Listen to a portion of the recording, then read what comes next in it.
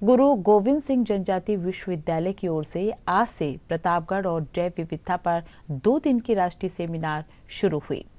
आयोजन सचिव मुन्नालाल मीणा ने बताया कि पीजी कॉलेज ऑडिटोरियम में आयोजित कार्यशाला में विशेषज्ञों द्वारा पर्यावरण परिवर्तन के दुष्प्रभावों और प्रकृति संरक्षण पर विभिन्न सत्रों में चर्चा की जा रही है and.